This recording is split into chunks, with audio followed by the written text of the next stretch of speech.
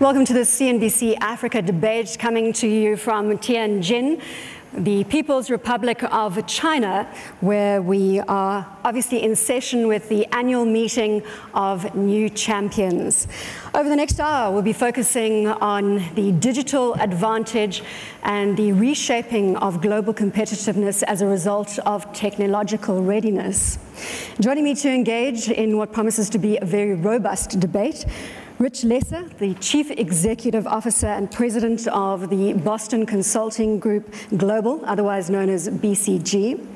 We're joined by Austin Okere, who is the founder and CEO of Computer Warehouse in Nigeria. And uh, we've got Natarajan Chandrasekaran, known to most as Chandra. He is the CEO and Managing Director of Tata Consultancy Services India He's also a mentor of the annual meeting of the new champions. Mitchell Baker, Executive Chairwoman of the Mozilla Foundation USA, is next up, and she's also on the Global Agenda Council on Data Driven Development. And finally, but certainly not least, Maurice Levy, who is the CEO of the Publicis Group. Thank you all very much for your time. Rich, let's kick off on the competitive landscape and, and how this is changing. Skeptics out there are saying that the digitization across all industries is perhaps marginalizing developing nations, taking into account resource, resource constraints. There could be validity in that argument. So I think um, a couple things. First, the amount of change that's coming on the digital front is just enormous. And when you talk to companies around the world in developed and developing markets, they're wrestling with three dramatic changes right now. One is how they rewire their own companies, how they transform their own internal operations. One is how they leverage big data and analytics and really get to new insights in marketing and supply chain. And then the third is how they uh, create new products and services for customers. And that message is a broad one. I think when it comes to the emerging markets, certainly there are challenges it opens up, but there's a lot of opportunities too. And the chance to be able to leapfrog ahead in health and education, the chance to leverage mobile and actually go ahead in mobile, I, I actually would look at it in a much more optimistic light and say for many emerging markets, this will be a chance to make progress in a relatively sh short space of time where the existing infrastructure and challenges might make it much longer to provide the benefits, help grow the middle class in different parts of the world. On that optimistic note, Austin, let's bring you in and, and look at the leapfrogging that developing economies can potentially do here. And I, and I refer to an example like M-Pesa, which is a mobile banking solution. And that uh, the Kenya Central Bank released stats recently saying that adults entering the formal financial sector increased from 41.3% in 2009 to 67, 66.7% in 2013. Radical leapfrogging of the financial services sector due to mobile banking. I'm sure you've seen other innovations in Africa. Um, well, I think that the, uh, the advent of the, the smartphones have uh, enabled inclusiveness, especially in banking. Otherwise, uh, in Africa, uh, the, only 20% of the population have access to bank accounts. But if you, look, if you take Nigeria, for instance, uh, a population of 168 million people, we have 130 million subscribers, and most of them are smartphones. So that provides a platform. The question is, what do you then do with the platform? And mobile banking is a way to provide uh, financial inclusiveness because uh, the mobile phone is pervasive. Uh, the, the story of M-Pesa is a very uh, good uh, say, example for other African countries to follow. But I think that it was a child of circumstances, rather, in my view, rather than a planned. Uh, if you remember what happened in Kenya in 2008, and people couldn't go out, and then there was M-Pesa, so they could spend it. And then after the crisis, everybody went and got M-Pesa. The issue is that the, it's, tele, it's uh, operator-led, telecom operator-led, so um, how does the bank regulate that? I mean, it's not, a, it's not regulated by the NCC. Uh, banking is not regulated by the NCC. So in other countries, such as Nigeria, what has uh, become uh, difficult is how to make the, the process bank-led.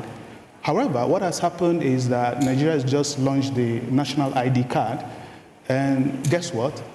In collaboration with MasterCard, it has a chip that can allow you to do transactions, financial transactions. So that's a second level of. So this is a digital IT card, this is, ID card. This is a digital IT ID card that has biometrics, and in collaboration with MasterCard, has the opportunity to do financial transactions. So it's also to be used for your bank account. And that is really going to change the whole um, uh, landscape of uh, mobile, uh, of financial inclusiveness, because suddenly 130 million people with a card that they can use to do financial inclusiveness. The question now is the... I want to bring Chandra in here yeah. for a moment, if, if, you don't mind, Austin. Yeah. We'll, we'll, come back. Uh, but if we can pick up on what Rich was saying earlier and what Austin has elaborated on is that the, the fast tracking of those developing markets because of new solutions, new technology, and they're not having to update. We're talking about developing markets now. They're not having to update existing technology systems. They can go straight into the best and brightest new solutions. Absolutely. I think uh, the disruption and the possibility that you see with these digital technologies, we call them the digital five forces, which is the combination of mobile, cloud, social, big data, and uh, robotics.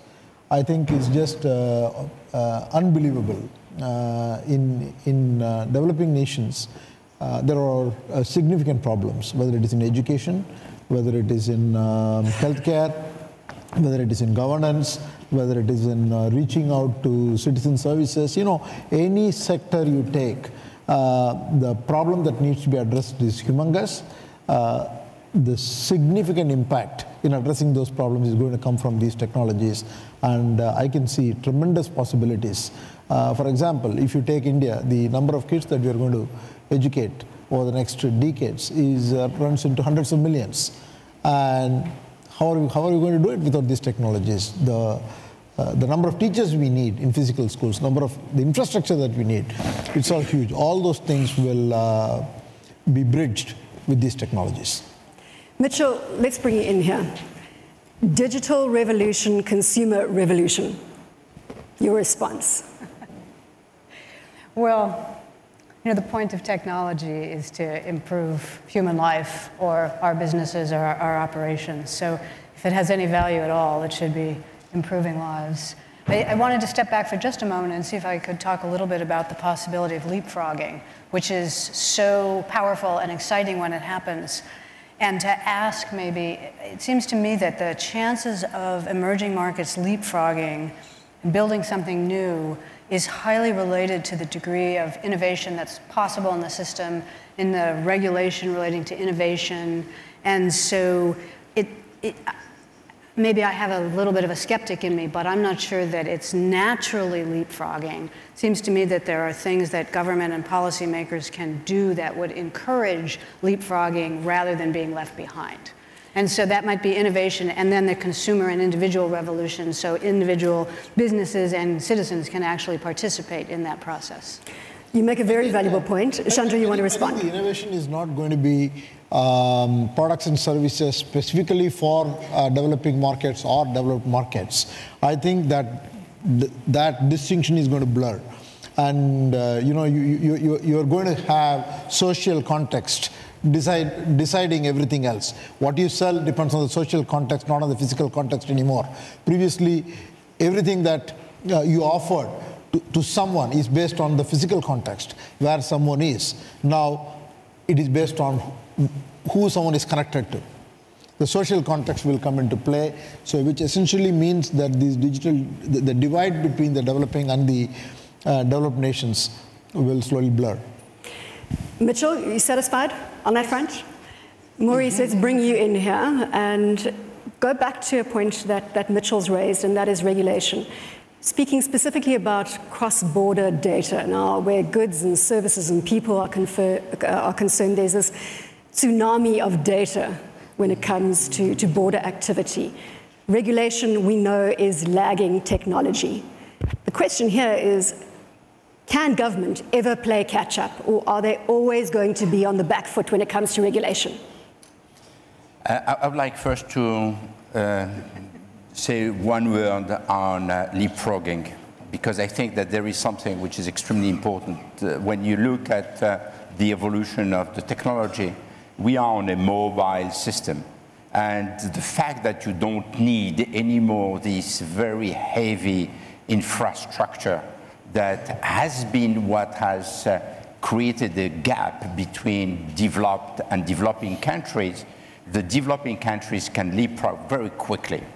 And the, the, the people have all the information in one just uh, small computer, which is called a, a, a phone. And uh, you can maybe speak on, but what you can do is to have all the information. And this is leading to data.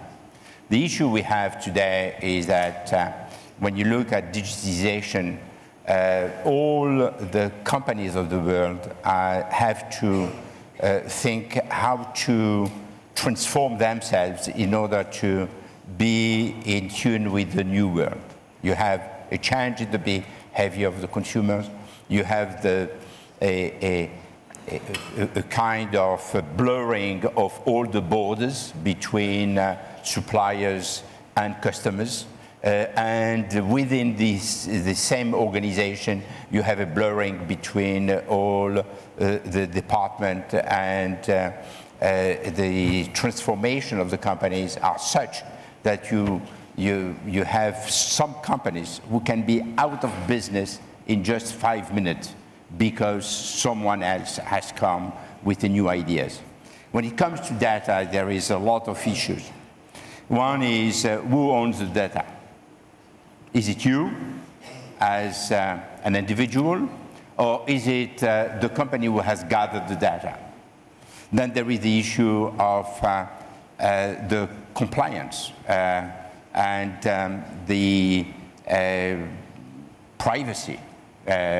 what, what should be the regulation on how to use this kind of data and uh, what can be done uh, without uh, hurting the privacy and the secret life of the individuals. Maurice, sitting next to you is an expert on data security, on personal privacy.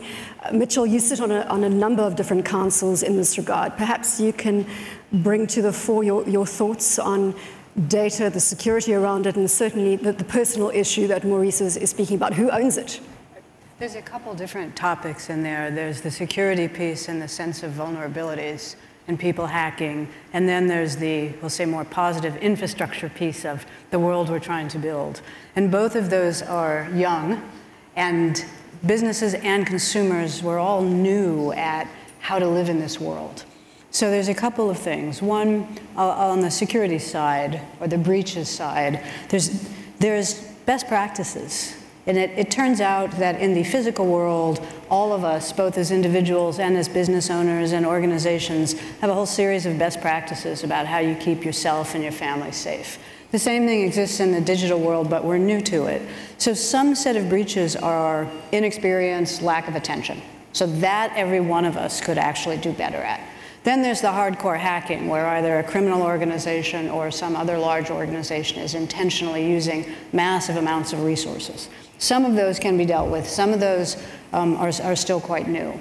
So the hardening of the system against the um, lack of experience or the lack of attention is actually in process right now. And the private sector, I think, will do a great deal in that because it's, it's um, it's a very important aspect of life, and therefore it, has got business and profits. I want to come back to my question on, on government and regulation, but I'm going to put it to Rich here, Maurice, if you can just bear with me for a moment, in that the issue that Mitchell has raised is obviously uh, the security one. And we've got to decide whether the economy, the world, is now incredibly vulnerable as a result of the digitization we were chatting just the other day about Home Depot and potential breaches to their customer database. Right. Your thoughts on so, the vulnerability going forward? So I think there's two separate points, and they're both really important. The first is the risk in the sorts of cyber hacking that we see going on will only go up, and the responsibility of companies and governments to put protections in place will be an enormous premium. And uh, uh, Maurice and I were recently in a meeting of CEOs, and it was so clear from the room that you know CEOs see as uh, now literally one of their top three or four priorities to protect the company in a, in a digital environment where, where so much more is, is at risk. I think there's a second thing about how data is used, and that's an interesting one because if you ask people do you want this company to have all this data about you? You often get an answer that's pretty negative. But if you ask them, would you like this company to be able to bring you better, more relevant services, to help you make your life more efficient? People want those benefits. And I think a lot of it comes down to the trust that companies earn the clarity with which they set guidelines with their customers, the way they leverage the data in ways that allow people to feel enabled and supported and not taken advantage of. And I think in addition to the protection part of it, we'll see companies investing very heavily to build that level of trust with their customers and that when they earn that trust, then they'll have a lot of license to be able to use to use data in that context. I want to get the government regulation question out of the way. Are they ever going to play catch up? Are they embracing the digital tsunami or are they running for the hills? I think um, it's a bit of both. First and foremost, don't forget that the, the government themselves are also consumers and beneficiaries. So it's not as if they are locked in one side and trying to prevent. The question is they also have a responsibility to the citizenship. I mean, the debate on whether it was wise to put the, uh, the financial chip on the ID card is, is, still a jury that is out there. You know, uh, the issue is how fast can you uh, make uh, uh, legisla legislation? It is slow because it's not a digital process. It doesn't have velocity. The parliament has to meet and etc. So it's always going to lag, I think. Chandra, coming back to digitizing the supply chain, the advantages that you're seeing, you are speaking to companies across the globe from a Tata Consultancy Services perspective. How quickly are they managing to rewire? Are they in a panic? Are they in a panic about rewiring? Um, I think, first of all, everyone recognizes the potential and, um, and the urgency uh, uh, that's needed in order to rewire. I think we, we basically call it uh, um, a framework of three things. One is the huge investments that have happened in, in terms of the current systems, uh, current procedures, processes, current way of doing business, the business models, business processes, etc. That has to be simplified. Unless or otherwise you simplify it dramatically, then it's very difficult to reimagine the future. So you've got to do that simplification and the reimagination uh, both at the same time. Once you do the reimagination, um, how, do I, how, do, how do I do the business in the future? For example, uh, the best example I give is workflows. How did workflows come about? Workflows was about uh, taking a taking a form from desk to desk because the information was not there at the first desk, it went to the second desk, then to the third desk. And the hierarchies got built up over a period of time. But today the information is real time. So work should not flow. Competitiveness of businesses, Maurice, the advertising industry being turned on its head because of digital innovations. You are collaborating with competitors, people that were previously competitors. Uh, new competitors have emerged and probably are emerging on a daily basis. The business landscape has changed dramatically, and um, the old established business has been transformed and uh, is going to be even more transformed. And if you look at our specific business, we are no longer competing uh, only with uh, our classic uh, competitors. We are competing sometimes with BCG and collaborating with BCG. We are competing with uh, Accenture and collaborating with Accenture. The world is transforming itself and the competition is uh, uh, a, a new landscape today. If you look now back to the question of uh, data, I think it's extremely important to say that this is uh, very helpful to understand the consumer and to target much more precisely the consumer. But at the same time, we should never forget that what moves a brand is the connection with the consumer. How you can connect with the consumer with a great idea, something which creates a bond, which will make that consumer loyal to the brand whatever happens. And this is something which will last, while at the same time, all the things that we are seeing today is evolving at a speed never seen before. Timing, yes, Rich. I just wanted to build on that and then come back to something that Austin said about governments, which I think is really important.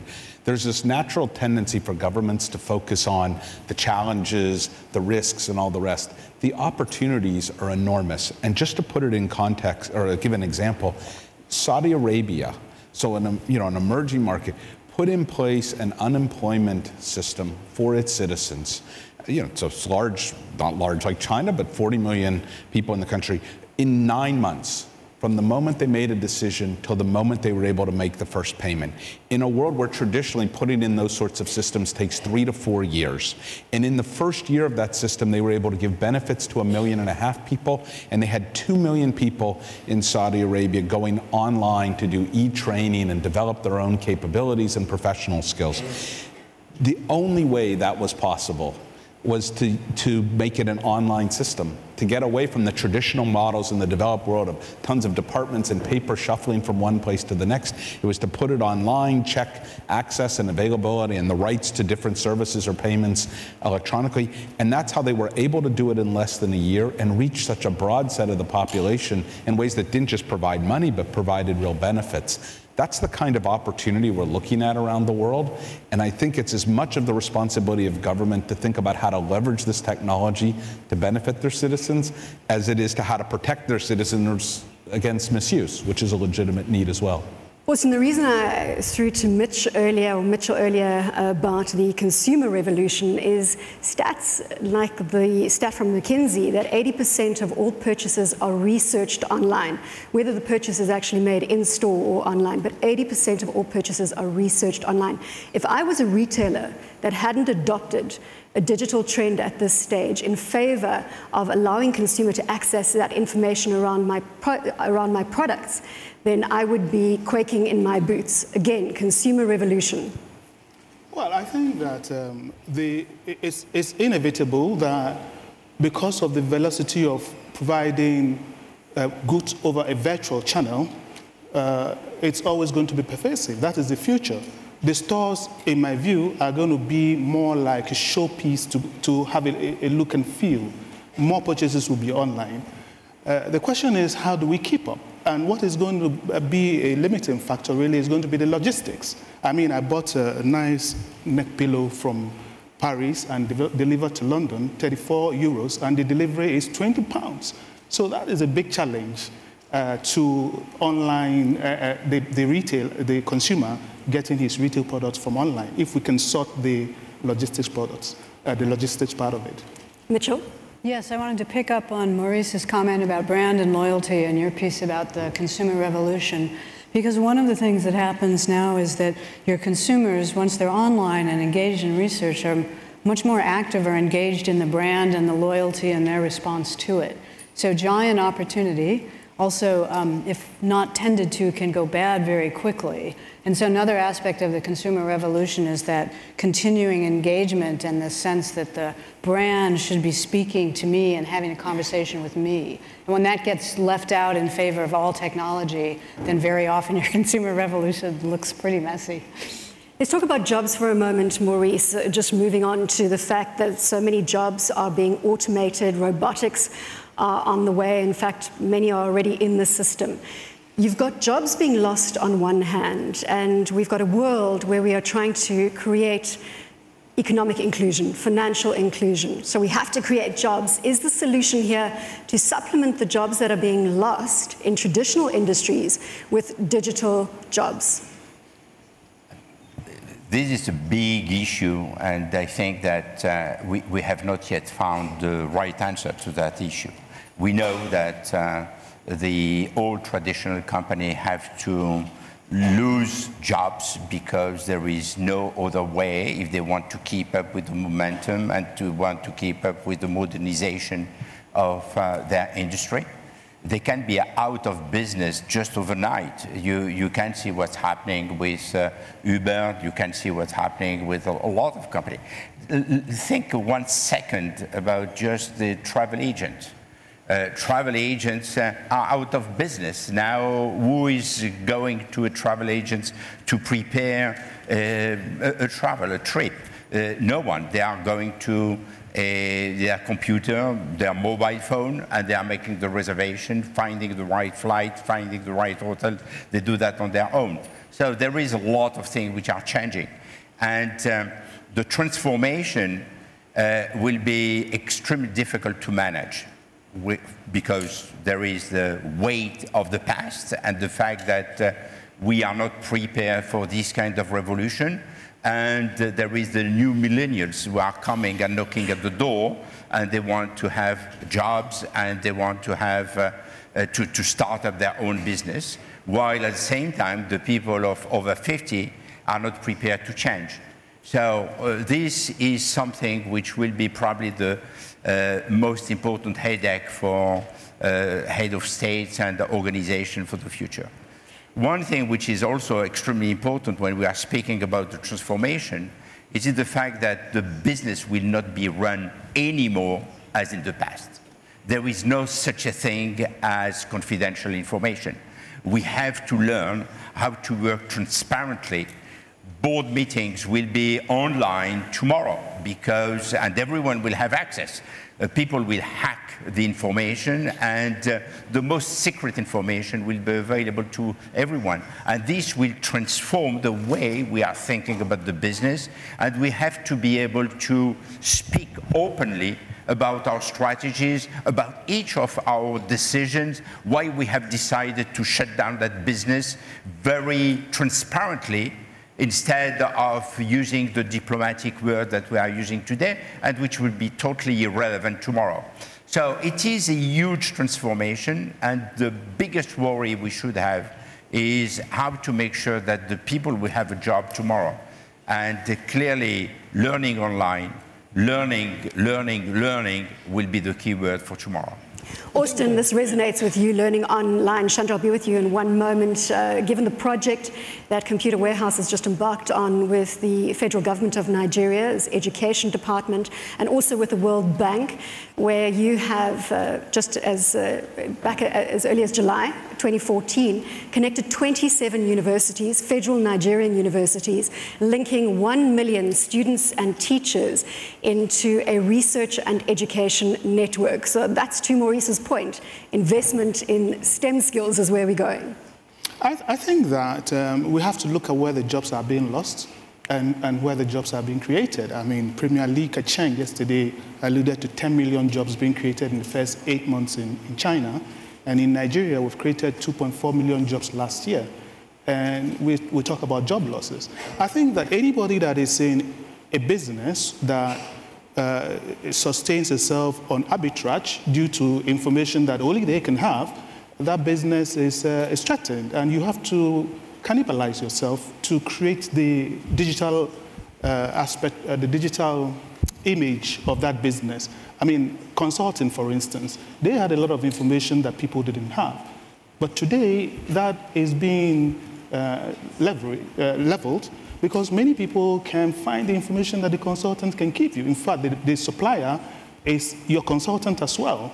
You know, so if you talk about the, the research and education network, this is the first of its kind in West and Central Africa. And what that does is that it makes information ubiquitous and pervasive.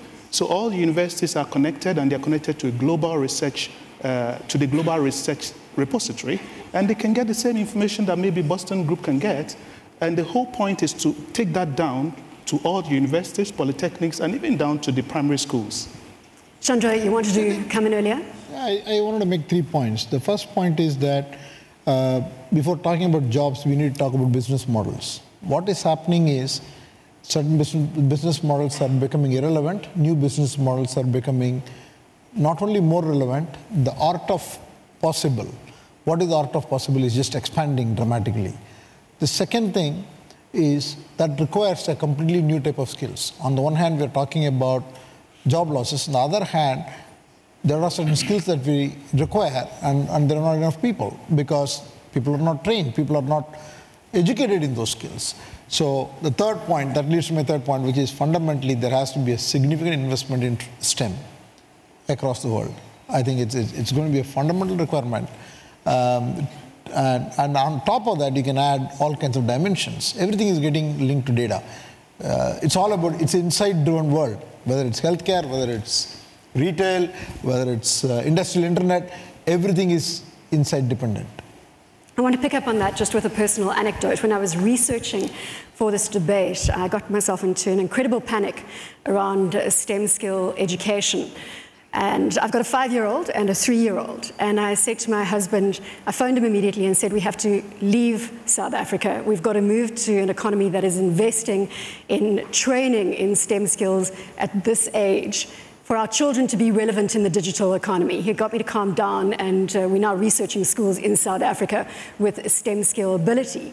Rich, I know you were incredibly excited when your son came to you, who's in the 11th grade going to 12th grade, and on his own back, you didn't force him at all, came and said he wants to go into computer science, which again is in the STEM field.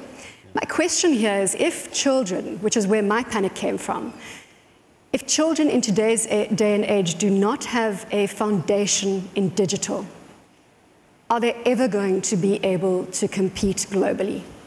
That's what I panicked about, Rich. I, so I would say two points. The first is absolutely the ability to be more comfortable in a digital world and to see the world through that lens will be a huge unmet need in society. You know, when Ford identifies its greatest shortfall, it's software and systems engineers. When, when the United States looks at its shortfalls in job creation, it sits in that area. And that will be one of the most attractive places for young people to build careers. And it will be important to have that foundational knowledge, even if they don't specifically focus in computer science, but, but in, or in other fields, because almost all fields will become related to that.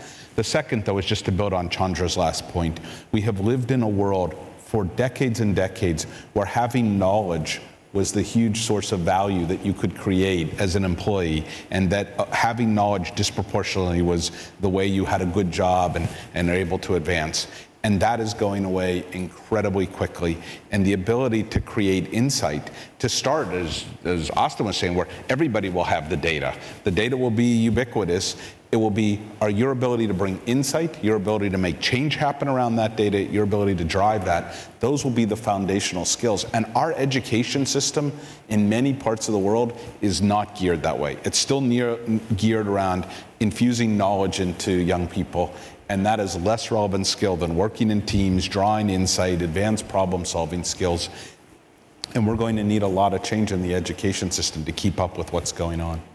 Austin. I, I, I, totally agree with, uh, with, um, with Rich about the education system that needs to be, needs to adapt to, first and foremost, the smartphone have made a lot of our kids intuitively computer science uh, adaptive, yeah?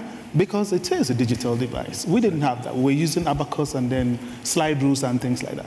But the issue is we always feel they're wasting time when they're on their phone doing social media. I was pleasantly surprised that even though I thought my 13 year old boy, was wasting time, he came to me one day and today he's written a program, a game that is loaded on iOS and on Android, downloaded by a thousand people already. 13 year old, write a game? Where did he learn programming skills? It's intuitive to him. But the schools discourage them instead of trying to make that use of social media productive, they discourage them and still take them back to how they, we were taught which is uh, precisely what you're saying. Chandra, is not this the, the key to everything? If we do not create those foundational skills for students in STEM skills, then we are going to fall by the wayside. Well, those economies that don't invest in STEM skills are going to fall by the wayside from a global competitiveness perspective. Coming back to the Global Competitiveness Report, the World Economic Forum's Global Competitiveness Report of 2014-2015, those companies that rank at the top from a competitive perspective are able to develop, attract, and retain skills. I wouldn't panic as much as you do, but the, I've got to bring a bit of drama in here. I'm, see, a, I, I'm I, am media think, person. I think I think STEM STEM skill is uh, is is absolutely needed, and in some some nations it's going the opposite directions. So there has to be a significant investment in STEM um, across the globe. But the second point I want to make is the education is transforming itself so dramatically. So it's not that you're going to learn everything in a, in a university in a classroom. And many times you're going to learn things as you need. It's not that you, you have studied calculus in school and that's what's going to come and help you later on. If you want to learn calculus tomorrow to solve a problem, you're going to learn it today. That's going to be possible. And so the whole education itself, the way of learning is, go, is going to transform and teachers and universities have to go through the transformation as much as students and parents have to go through. Mitchell, uh, plug and play solutions coming back to competitiveness uh, amongst companies. Private sectors in developing environments or private sector companies could potentially now plug and play into global value systems. Is that happening already? Yes and no. Yeah, there's certainly examples of it. You can pick almost any industry and find an example or two of it. So, so we're beginning to see that. We're also seeing you know, global platforms rise really quickly and fall really quickly. And so in those platforms, we see less of the plug and play piece. Those are actually going the opposite direction, where a global platform will be a single integrated vertical stack. And so in that setting, the place you can plug and play is very clearly defined for you. So we see a lot of that. You know, there's a, uh, whatever computer you're using. So I would say in the areas of um, plugging into a, a, predefined place in an integrated stack like your phone, th that's multiplying. Uh, and we're seeing a few examples of the leapfrogging, but not in the same number as we would hope to see going forward. Maurice, just keeping with that theme, what it enables companies to do is not to have to produce products and services from end to end. They can contribute to different pieces, and it goes back to your travel agent example. A travel agent portal, and then suddenly you've got a car hire service coming in, accommodation service coming in, again, these plug and play capabilities? Clearly, when you look at uh, what the future will be for what we can say today, because uh, I guess that in 10 years' time, no one in this room can uh, predict what will happen. but what we can see that uh, collaboration will be key. No one anymore can do everything on its own. You can see what's happening with General Motors, with a lot of companies of the world, uh, they are not doing anymore what they were doing, which was from A to Z, the whole chain of value. They have to rely on partners. Uh, it's the same when it comes to intellectual property. You, you look at what's happening in uh, the development of uh, uh, all the features. You, you, there is a collaboration between Intel and Apple, between Apple and Samsung. There is competition and collaboration, co-opetition, because they are collaborating on the chips and they are competing on the phones. And this is something which will be developing in the future. We, can, we can't expect to have one company doing everything at, at the same time. The other thing that I would like to point out is based on what uh, Rich has said regarding information. Uh, information is no longer uh, something that has a, a value today because it is accessible to everyone. The key question is how to use the information. And the skills is not so much to gain access to the information, it is how to select the right information and how to use it and how to share it. And sharing is probably one of the key words, not because of only of uh, Twitter or Facebook, but it is one of the key words for the future, including within one company. How to share a job, how to share information, how to share uh, the uh, relationship with a, a, client or with a consumer, etc. So we see that the world is pivoting. We say that in English, I don't know. And uh, it, it is changing uh, quite dramatically the way it will work. And I think this is a great opportunity for all the newcomers and also a big challenge for all the established company. Exactly to build on the, uh, that last point, there are two things I would observe. One is the deconstruction of value chains has been something that we've been talked about now for almost a couple decades. But the more transaction costs fall, the more information is shared, seamlessly, the more there's an ability to create many, many players who can participate in a system. And companies then have to think very strategically about where on the value chain do they build advantage, do they need to compete, and how do they efficiently interact on those other elements. The second point is we are just watching an enormous growth of ecosystems that are building up in different ways. And how to participate in ecosystems will be one of the defining strategic questions that most companies face in the years ahead. And you know, it started around iTunes and the ecosystem there, and then and then the iPhone and the apps there, and then Android. Last night, Apple announced two more, one around wearables, one around payments, that it's going to try to create. And we see that all the time. We were working for a utilities company it wanted to offer new services to the home, but it knew it could never get its own devices into people's home. So it's how do we link into an Android home automation system? How will we be a part of that? How will we be distinctive, but not how do we think we can control it all ourselves? And that issue of participating in ecosystems, I think will be, I mean, we see it here in China and Alibaba and Alipay. I mean, that's a key defining strategic Alibaba issue. will be listing on the NYSE Absolutely, News Arc. It's going to be one of the biggest At an enormous globally. valuation, absolutely, and well deserved. Business sophistication. If you look at investors now scrambling for digitizing emerging markets, what we're seeing is actually the enlargement of the investor pool and a diversification of the investor pool, which is a good thing, Austin.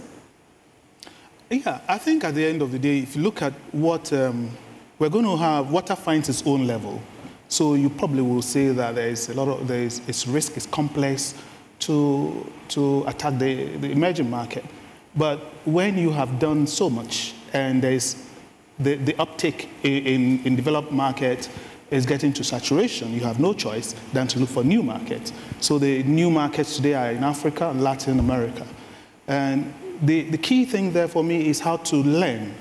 You know, you have a way of doing things that has worked somewhere else, but you can import that same template, hook, line, and sinker, and drop, and drop it onto another, another geography, another culture. And in, in all this, the key thing is how to learn new things, not how to learn something, how to learn to learn, so that you can quickly adapt to, to the way of doing business in, in that uh, in emerging market. Chandra, how do you interpret business sophistication? Um, I think I think the way to look at is that uh, the the possibility is just enormous, and so today we think that we're getting sophisticated. Uh, before we realize realize it, we'll, we will not be sophisticated anymore because it's just the envelope is just getting pushed further. The productivity that you will see is just going to be enormous. The possibility that you see is going to be enormous. The reach, the consumers that you can reach, the customers that you can reach, which you could never imagine you could reach before, is just uh, exploding. With all of this, I think um, there's a lot of education required. There's a constant education required, and also there's no point in getting worried whether jobs are getting lost because uh, we have a huge possibility to create a future. So, what skills are required? uh, in order to create, create, create that future is one dimension. The second dimension is so many people are there and they have to be employed. What do we do?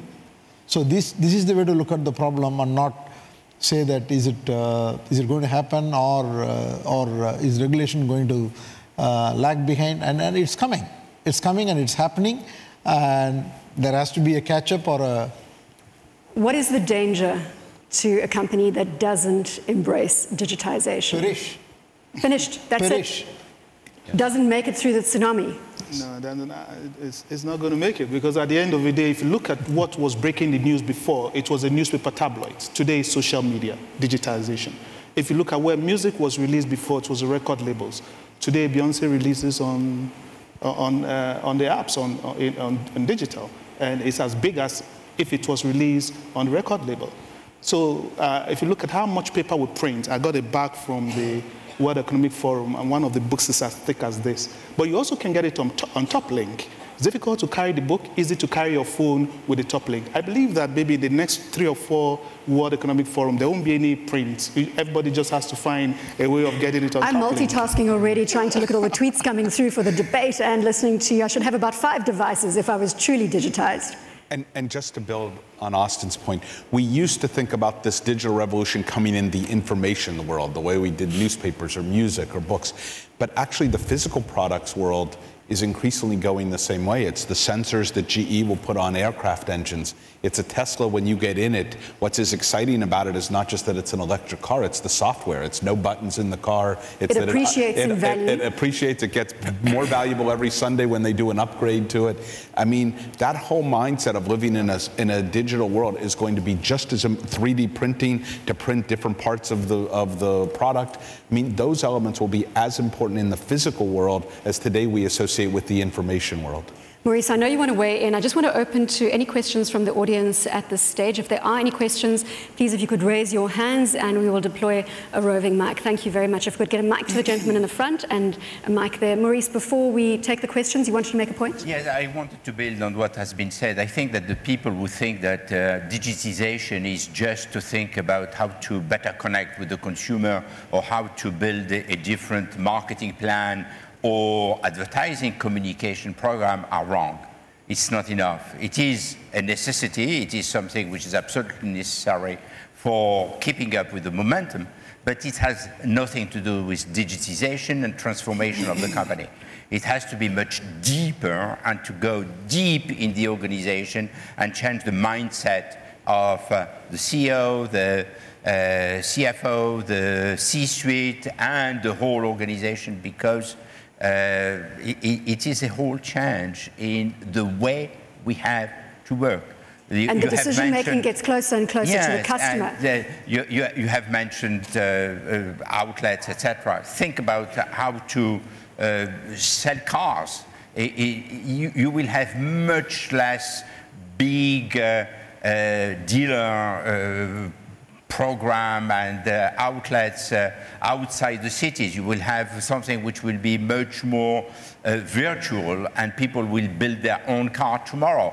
So it's very, very complex and we should their, not print stop. their own car. Oh, they it will could, print it. could even yes. be possible. No more supply chains. Yes, sir. Please go, go to your question. Thank you. Uh, Anushka Vijay Singh with the WEF Global Shapers Community, Colombo Hub, uh, Sri Lanka. My question is on digital, digital advantage and business sophistication for the second tier firms. You know, in many developing countries, a large proportion are small and medium enterprises who may not, unlike the large enterprises, be able to go to the BCGs and Accentures. Uh, how, do you, uh, how do you see that landscape shifting, giving that global competitiveness advantage to SMEs? Will, uh, do you think that they'll be able to naturally adopt, or could governments do things? Is it incentives? Is it uh, some types of deregulation, creating that business climate for more SMEs to adopt this and become competitive with digitization. Thank you very much. I, I, I mean, if you talk about SMEs, then you talk about uh, more of Africa. I mean, small businesses are, even our big businesses are small in, in global standards. The, the good thing is that with today's cloud computing, the small, uh, small companies have more or less the same advantage in, in technology as the big companies because they, they, they, can, they can work on a uh, subscription model on a, a, system. For instance, I'll give you an example. We provide a, uh, online system for small companies so that they can display their goods online and people can buy. We also give them a system for ERP. They don't have to buy it. They run off subscription from our own uh, environment or our own system, and then we charge them monthly something small. Now, that brings the discipline that you're looking for, you know, because then if you're going to do CRM or whatever, you don't have to invest in it. That immediately removes the, the advantage that the big companies had to buy technology that you didn't have. So today it's available, I would say more pervasively, to small companies as well. Another question? Yes, thank you, sir. And then you. Hi, uh, this is Navneet Vasishth from BCG. I have a question on the potential of digital as a leapfrogging uh, opportunity for emerging markets. Yes, the user infrastructure exists in terms of phones, but what about the pipes and the app, local applications that are required to really enable this infrastructure to be used? Even today, 40% of smartphones do not use any internet. Users have the device, but they don't use it for digital services. Do you think emerging markets are paying enough attention to that part, of, solving that part of the problem, the pipes, the spectrum, as well as the local applications? Well, um, I, I, was wondering, Chandra, I thought that was directed at you, but Austin's happy to take it. You would like to? See, I think uh, the way I look at it is that uh, there is a lot of investment happening, and spectrum is a problem in most part of the world. Uh, definitely in emerging markets, I can definitely talk for India. But um, having said that, these investments are happening as we see, and technology is maturing. This is an area in which, uh, you know, uh, small cells and these kind of technologies are coming in. So it will be a catch-up game, and we will never be happy. The, the content play is so rich, and, uh, and, and most of the services are being offered free. So, so the demand is going to increase constantly. So you'll always be uh, playing the catch-up game, but it will dramatically improve, is my take. Austin, you wanted to add? Yeah, I, th I think that um, if you look at the capability to consume, the, the devices are way, there, way up there. The problem, he's right, is the pipes. Without the connection, the last mile connection uh, to the home, fiber to the home, then you can do, you, you cannot connect, um, for instance, you can't, your SME can't connect and, and do subscription business.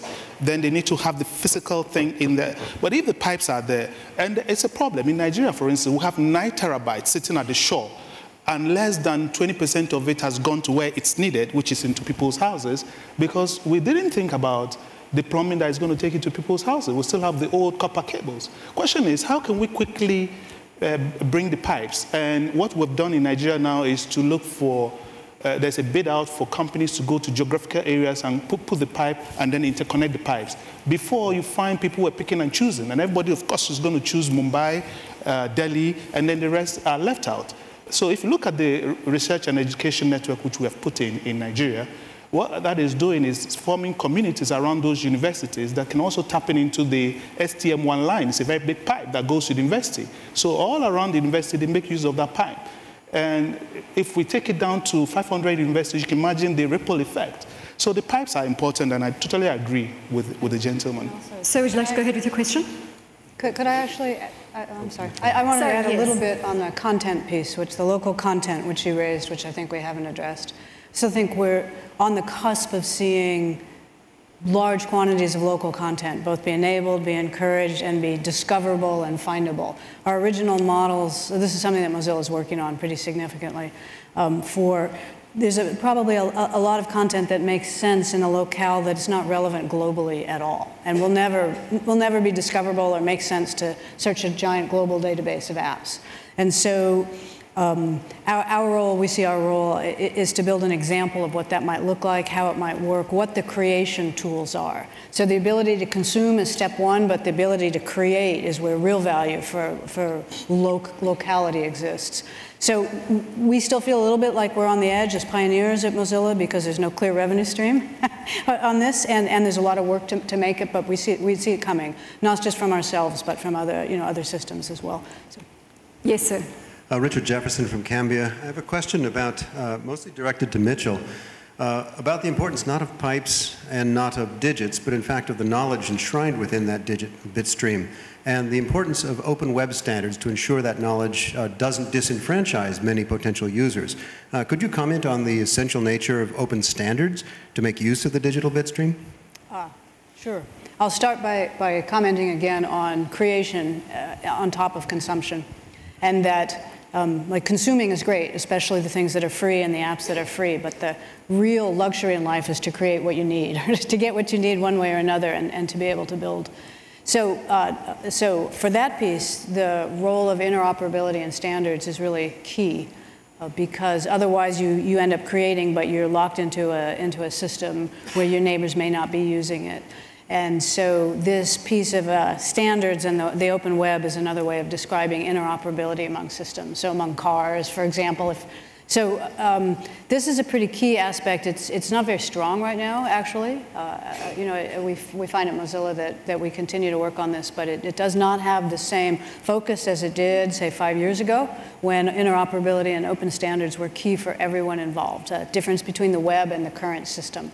So um, I would say I'm hopeful that the future is a return to interoperability in the computing environment of the future. Uh, if you imagine if your car and your health devices and everything is not interoperable and it's all siloed up, then, uh, then life's going to be difficult. So I'm, I'm optimistic, but it's hard work right now. We unfortunately are running out of time. I want to go to closing comments on the panel. Maurice, starting with you, and perhaps we can look to the next wave of business sophistication in those closing comments. Maurice. next wave uh, something that we uh, will see coming from uh, two kids uh, creating something which will be a big disruption. So I'm, I'm very hopeful to see a lot of changes. And they, to, to, the point which has been uh, said by the global shaper a few minutes ago, I think that the, the beauty with this world is that everyone can change it. It's not something that the old established company will change. It is the youngsters who will come with new ideas, which will be disruptive and will change our world. So that's the reason why I'm so hopeful. Mitchell, closing comment from you in terms of the next wave, what we can anticipate. Maurice, two children, says two children potentially inventing something, disrupting the environment, the competitive landscape.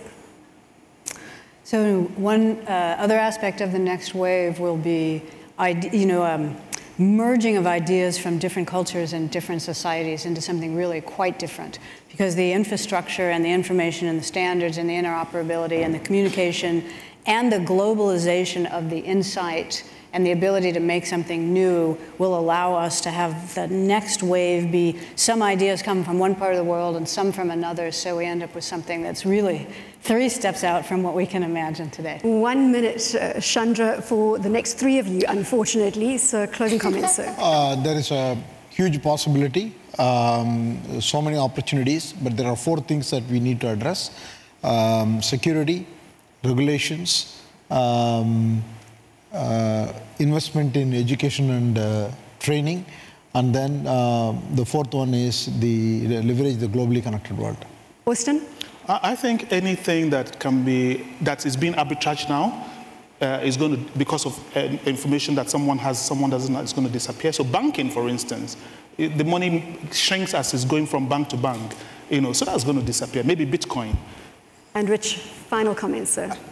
Adaptiveness has gone up so much in terms of priorities for both small and large organizations.